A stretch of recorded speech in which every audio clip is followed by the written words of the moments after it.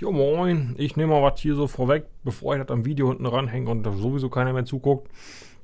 Und zwar, wenn wir für Clan, äh, Clan-Gefechte fordern, dass es eine ähm, minimalistische, zweckdienliche Kommunikation gibt, dann ist das kontraproduktiv, wenn wir das im normalen Spiel so gut wie nie machen.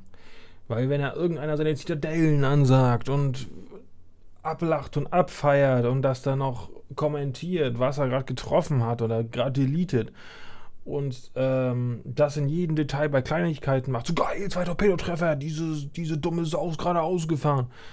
Und ähm, Leute das dann halt sich gegenseitig immer mehr erzählen, weil jeder mithalten will. Weil ich habe auch viel Schaden gemacht. Ich habe zwei Zitadellen geschossen. Scheiße, das sind zwei Torpedos oder so. Und krass, drei Brände. Der Typ ist so abgefuckt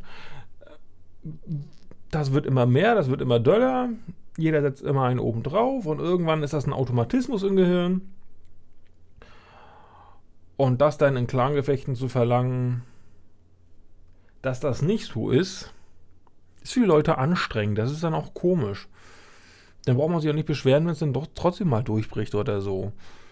Vielleicht übt man das schon vorher, damit das Automatismus ist und sich nicht kacke anfühlt und man auch lernt zu kommunizieren, weil alles, was man übt und gelernt hat, kann man später ja auch einfacher reproduzieren, weil da schon Nervenbahnen im Gehirn geschaltet sind und mehr Verknüpfungen, die genau dafür ausgelegt sind, anstatt man das so vorher mal genau das Gegenteil macht. Weil dann ist, wenn man dann was anderes verlangt, ist es extrem schwierig umzusetzen.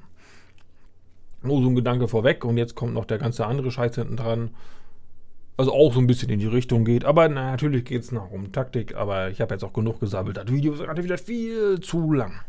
Und damit es noch länger wird, klar kann man sich darüber freuen, wenn man was trifft und auch mal ansagen. Aber das dann noch zu kommentieren, auszuschmücken und die Schwuchtel, du Opfer und dieser Vollidiot ranhängt und das dann noch bewertet, betont und mit allen möglichen Sachen verblümt und feinzeichnet und noch schattiert und das dann noch rhetorisch so richtig krass darzustellen und wen zu parodieren, dann sind wir irgendwann bei einer Sache, das ist so, ähm, ja, das gehört dann in krasse Super Unicorn-Videos von irgendwelchen Superspielern mit paar Memes dazu und dann ist es auch wieder geil. Dann ist es unterhaltsam, aber so hm. Radarreichweite ist auch schwierig. Man muss, man muss abwägen, ob man das tut oder ob man einfach sein Radar später im Spiel einbringt. Jetzt hoffe ich, dass die Z da auf der Karte, auf der einen Seite vom B, kann man das sehen hier auf, auf der Karte, dass jetzt von meinem Team ein bisschen behagt wird, weil ich werde zum Glück gerade nicht behagt, dass sie halt rausgedrückt wird und ich hier drin bleiben kann.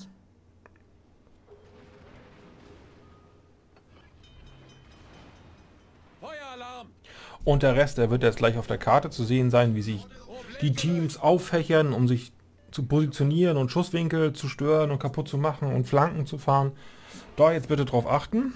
Jetzt geht nämlich die Parodie von mir los.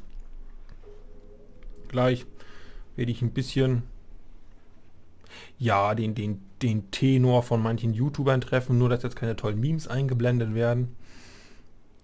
Für alle, die was über Taktik lernen wollen, machen als am besten jetzt den Ton aus und gucken sich einfach die Entwicklung auf der Karte an und versuchen mal herauszufinden, was uns hier das Genick gebrochen hat. Ich fange jetzt mal mit der Parodie an. Ja geil, die Izumo, die mache ich platt, dieses Opfer. Muss ich nur in Position bringen und dann werde ich die rausnehmen, ganz alleine. Oh, selbst die als Martella schon Angst. Oh, eine Achte, eine Kiew. Diese Pussy weiß gar nicht, wie ihr geschieht. Die ist immer noch offen. Oh Mensch, wo bleibt mein Team? Was schwuchtelt das da hinten denn so rum hier? Politisch unkorrekt muss es sein, ist eine Parodie. Na, du kleines Opfer stehst ja immer noch. Dich werde ich ficken.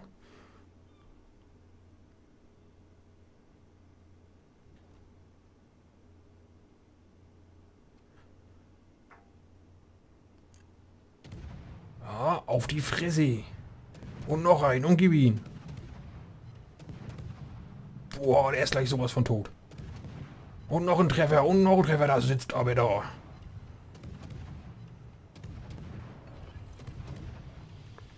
Nebelwerfer gestartet. Und jetzt werde ich so richtig die Isuma abfacken. Was meint mein Team her da? Alle schwuchteln oder was? Warum fahren die keine Flanke? Die müssen da durchbrechen. Die ist so gut wie tot.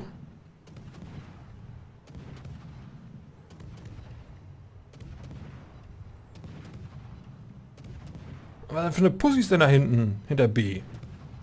Die Türpitz traut sich nicht, die ist alleine. Die will nicht pushen. Conker und Thunder sind zu weich und weinerlich. Also, eigentlich beides das gleiche. Was soll denn das? Soll ich alles alleine machen oder was? Nee, nee, nee, du kannst nicht arbeiten. Keine Eier der Hose oder wie? Testosteron geschwängerte Männlichkeit setzt voraus, dass man auch dumm dreist geradeaus fährt. Konsequent sein heißt auch Holzwege zu Ende zu gehen. Das war ein Zitat von Volker Pispers.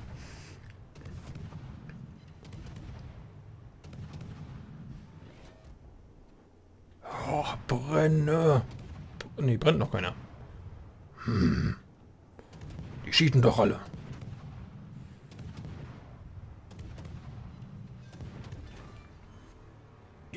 Ah, wo ist das nächste Opfer? Oh, mein Cap ist in Gefahr.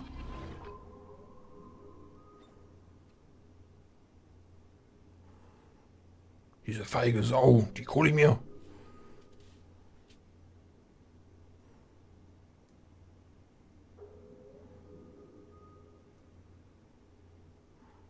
Guckt euch diese Weicheier an. Was schwuchteln die da hinten rum? Keiner hat... Das ist ja, also... Keine Eier in der Hose oder was? Hier, das ist ein Kriegsspiel. Testosteron, geschwängerte Männlichkeit, Attacke.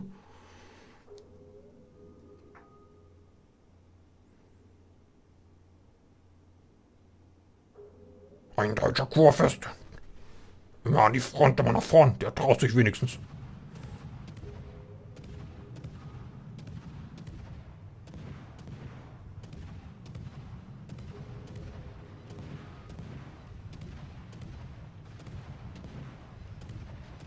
Sind die denn alle behindert? Können die das Spiel nicht lesen? Die können sich hier den Anfahrtweg aussuchen. In der Deckung der Insel. Und wenn sie dahinter sind, können sie ihre Brände löschen und ich kann sie nicht abfackeln. Pinken die denn nicht mit? Sind die denn alle behindert?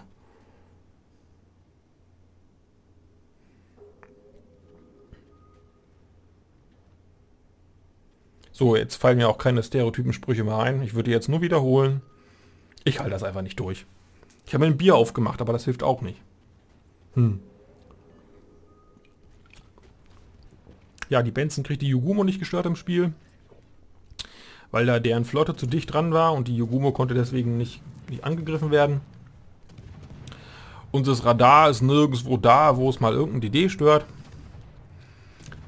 Wir haben keine alternativen Schusswinkel. Wie gesagt, die Gegner können die Insel nutzen. Wir haben keine alternativen Torpwinkel. Ich kann sowieso nicht torpen. Warum sollte ich woanders hinfahren? Ich brauche auch keine Yogumo angreifen, wenn die dicht bei ihrer Flotte agiert und unser Radar sonst wo ist. Ja. Und was lernen wir jetzt daraus? Wenn das Team nicht mitspielt, also ohne Team, ist ein Unterstützungszerstörer halt. Äh, ja, was ist der dran? Ein Insel... Inselbegabtes, verkrüppeltes Schiff oder was? So, Die auf der Werft haben gesagt, ich habe Flak und Kanonen, das ist was ganz Tolles. Jetzt müssen die anderen nur noch Flieger haben oder sich abfackeln lassen.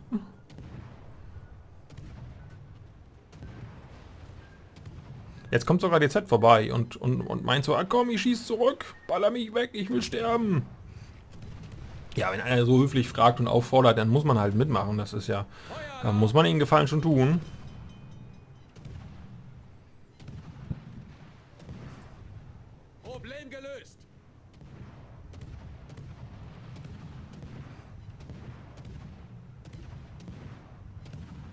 Weil da kommt ein Alaska mit Radar, da ist ein Kurfürst mit Hydro, was soll ich da? Ich kann nicht. Ich kann kein Cap blocken, also nur bedingt so ein bisschen russische Zerstörer gesunken.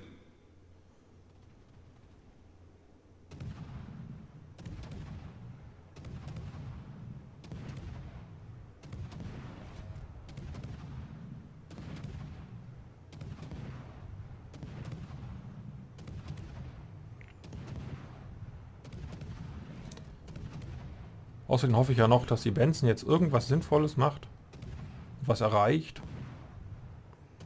Oh, sie hatten einen Full-Life Yugumo gefunden und ich bin zu weit weg, um zu helfen und er ist Half-Life und lässt sich wahrscheinlich gleich rausnehmen. Das ist ja... Hm, da hat einer das Spiel nicht gelesen. Aber sagen wir es mal so. Er war stets bemüht. Nein, er ist jetzt ein bisschen abfällig. Äh, ja. Keine Ahnung. Wenn er sich Nebel schmeißt und sich verstecken will, hat die Alaska wahrscheinlich noch Radar. In der Reichweite. Aber die Yugumo, die hat halt hohen Alpha-Schaden, die würde ich noch so wegnehmen, wenn sie Full Life ist und er halb tot. Wenn es ein guter Spieler ist. Das denke ich mir hier so, ja, sie hier so über den Berg, weiß nicht, treffe ich die Alaska schwer. Wir haben da hinten ja eine eine Alsace. Möge doch da ein Taschentuch gegenwerfen. Ja, hätte ich mal hingeschossen.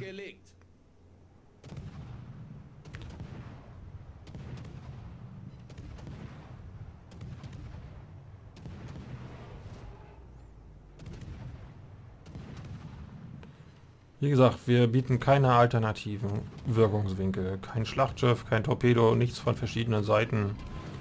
Die können sich zu uns anwinkeln, wie sie wollen. Wenn ich sogar in Breitseite versuchen wieder rauszudrehen, weil unsere Schiffe so weit weg sind.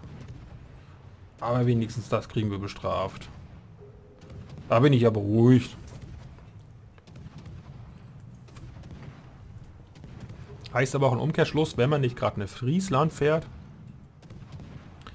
egal was für ein Schiff, wenn es nicht gerade ein Schiff, was auf Support angewiesen ist, ist, fahrt Flanken, stört Angriffswinkel, brecht Formationen auf und wenn sie darauf nicht reagieren, macht viel Schaden bei den Leuten.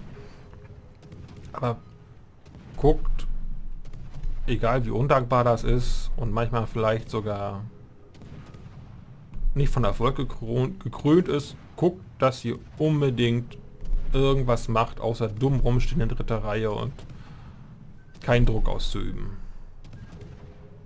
Und ich bin gerade in einer dummen Situation. Ich kann ja noch nicht mal Druck ausüben. Ich kann abfackeln. Alles, was hier reinkommt.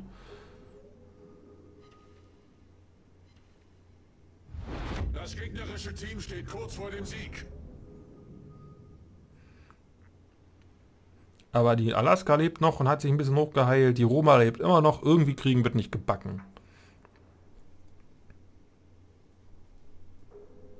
Alle Stationen, Feuer auf das Ziel konzentrieren. Bestätige.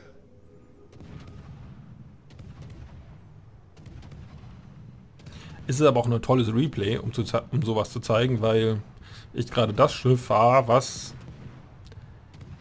am wenigsten rausreißen kann. Jeder krass gut gefahrene DD könnte hätte da von der Seite von C aus erstens mal die Slomensk stören können und in B reintorben. Oder da wo die Conqueror ist, hätten vorher schon ein paar Schiffe durchfahren und reinfahren können und, und, und weit auffächern, um verschiedene Schusswinkel zu bieten. Aber das alles ist nicht passiert und ich habe kein Schiff, was, was von den beiden bieten kann. Ich kann keine Zitadellen schießen. Ich kann nicht fies torpen. Ich kann nicht mal... Ich kann nicht mal eine Yugumo jagen. Wenn der Yugumo gut genug spielt, kriege ich die nie.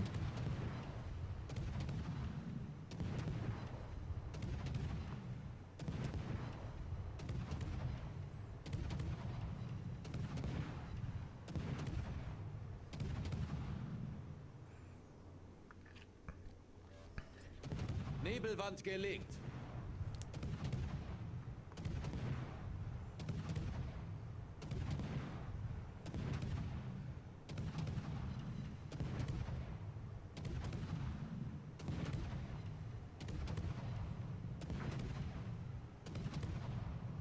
Es bringt auch nichts, wenn man auf, auf, auf den ähm, Chatverlauf da auf den Feed guckt, dass einer Unterstützer bekommen hat.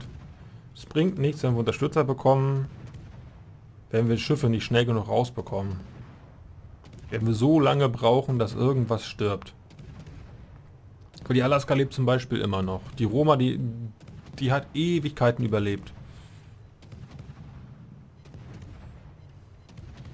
bringen, wenn nicht der Gegner Hiroma da irgendwie Breitseite dreht, nicht effektiv genug Schaden an, weil wir keine Zitadellen schießen oder Viehs in die Seite schießen, weil die können sich anwinkeln. Sowas wie die Alaska, die kurz hinterm Berg zugegangen ist, die können sich können sich das aussuchen, wie sie wann wo spielen und, und sich wieder hochheilen. Die spielen uns einfach aus.